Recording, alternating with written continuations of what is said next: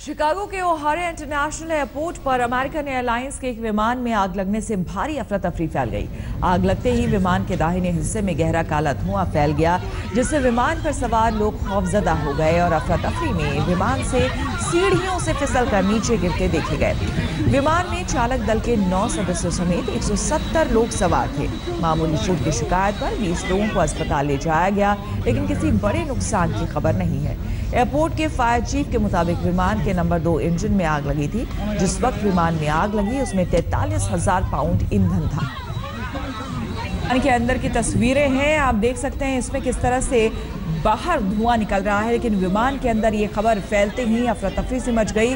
जो यात्री हैं, वो जिधर तिधर से भागने की कोशिश कर रहे हैं, बाहर निकलने की कोशिश कर रहे हैं, जो एग्जिट गेट है इमरजेंसी एग्जिट गेट है, उससे भी कई यात्री बाहर निकलने की कोशिश कर रहे हैं। दो तस्वीरें आपके सामने, पहली तस्वीर में आप देख रहे हैं कि किस तरह से विमान से धुआँ निकल रहा है, आग का गुबार निकल रहा है। आपको बता दें कि जिस वक्त ये आग लगी इंजन टू में विमान के नंबर दो इंजन में, उस वक्त तैतालीस हज़ार पाउंड ईंधन इसमें भरा हुआ था।